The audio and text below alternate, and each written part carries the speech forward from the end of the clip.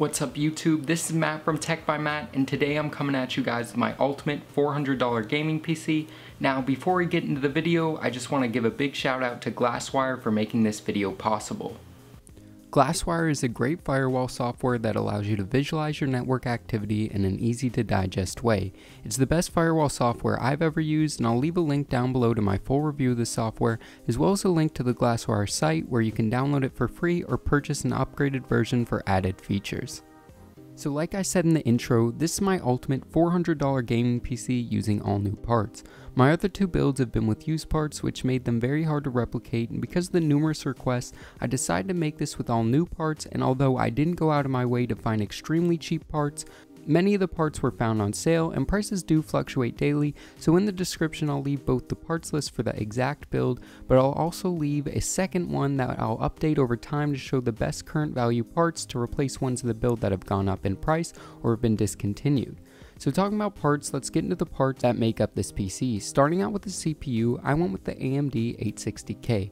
This is a quad-core CPU on AMD's FM2 Plus platform that is unlocked which allows for substantial overclocking.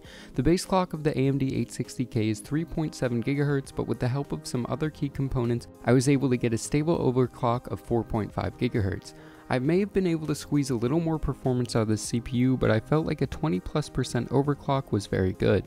Now many of you may question why I didn't choose the Intel Pentium G3258, and the reason is that the 4 cores of the 860K should provide a better gaming experience into the future as games start to support more cores, with some games currently not even starting up on CPUs with less than 4 threads.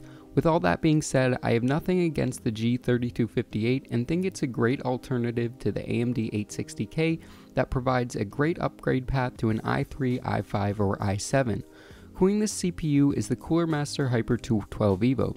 This is a very beefy tower heatsink with a 120mm fan and 4 direct contact copper heat pipes. This allows for substantial overclocking but also very quiet operation especially compared to something like the stock CPU cooler. This cooler also came with a $5 mail-in rebate that allowed me to fit it into this tight budget. Moving on to the motherboard, I went with the cheapest A88X motherboard available that had decent reviews, which ended up being the ASRock FM2 A88M Pro 3 Plus Micro ATX motherboard. This motherboard came with a $10 mail-in rebate making it very inexpensive. It features USB 3.0 on the back I.O., an onboard USB 3.0 header, 4 DDR3 DIMM slots, and a full PCIe Gen 3 16X slot for our graphics card.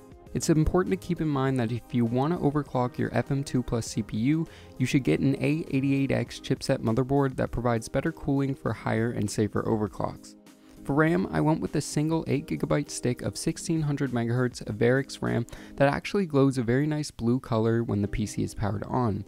8GB is going to provide plenty of RAM for most any activity, including any modern game. Moving on to storage, I went with the 1TB Western Digital Blue hard drive. This is kind of the de facto standard for budget PC storage, but if you're someone who doesn't need that much storage for around the same price, you could opt for a 240GB SSD, which will give you better boot time, faster file transfers, and overall increased snappiness of your system. For graphics, I went with the EVGA GTX 950 for the Win Edition that actually has a very nice backplate and was on sale when I was purchasing these parts. But it's going to perform almost the same as every other GTX 950, so just go for the cheapest one you can find from a brand that you trust. This card provides a very good amount of graphical horsepower for its price point. Powering the system is an EVGA 430 watt 80 plus certified PSU. This provides an ample amount of power at a very affordable price. EVGA is one of the only companies that manufactures quality budget power supplies and I highly recommend that. All of these components are wrapped up inside of the Cougar Spike gaming tower case, which is the only unusually low discounted item in this build, which I actually got for only $13 during a liquidation sale, but any $20 case that supports a micro ATX motherboard would work just fine. Now let's move on to the gaming benchmarks. I think many of you are going to be surprised at the performance of this system. This is truly a bona fide 1080p gaming machine. The first game I decided to test was GTA 5.